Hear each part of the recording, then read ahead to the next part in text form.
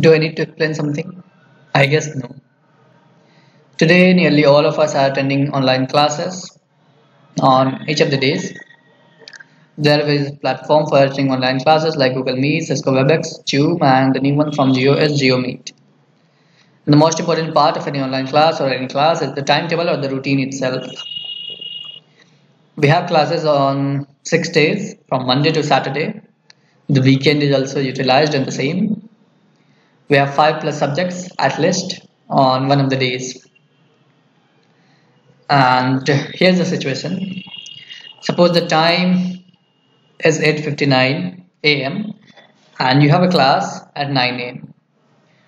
What is the most common thing that you see daily? Any guesses? Well, here is it. Where is the link? Can you please give me the link? Give me the link, please. And suddenly your phone rings, someone asks you for the link on phone call, and you're like, please don't call me, I'm attending online class. Just call me after classes, and you drop the call. So this happens in every case, every day, I guess, right? Uh, the links are confusing because each of the links seem same it's hard to determine that which is the link for this class which is the link for that class for this subject for another subject and so on it's much problematic right the only guy that is enjoying all of this is this green guy right here so are you tired of links well, here's the solution. Timetable viewer and manager. Happy? Well, you should be.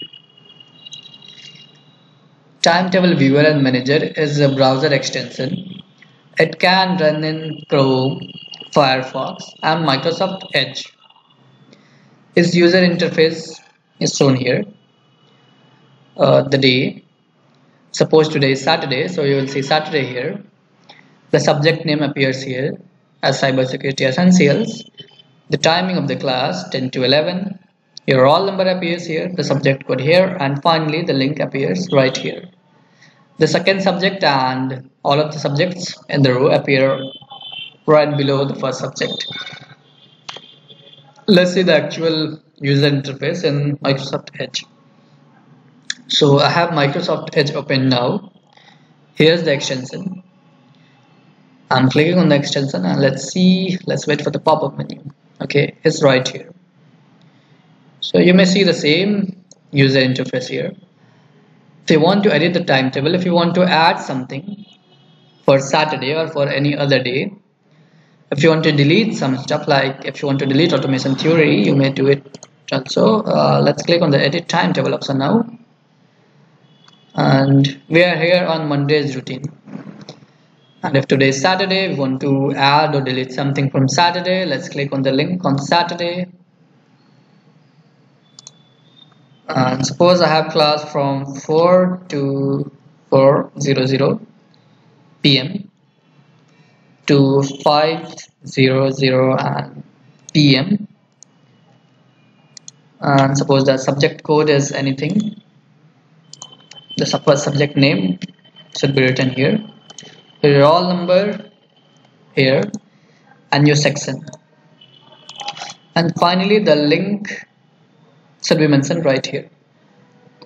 And then what you need to do is you need to click on the submit button here. And it will be added to the timetable. It will appear here. And when you click on this again the same the subject analytical skills will be added to the timetable.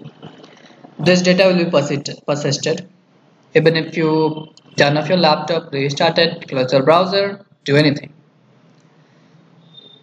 Uh, if you want to delete some subjects, like if you want to delete automation theory, you may click on the delete button here and it's go.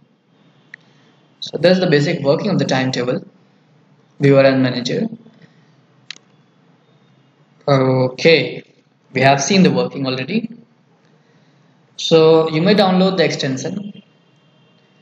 The link to the extension will be mentioned in the description. And thank you for watching the video. have a good day goodbye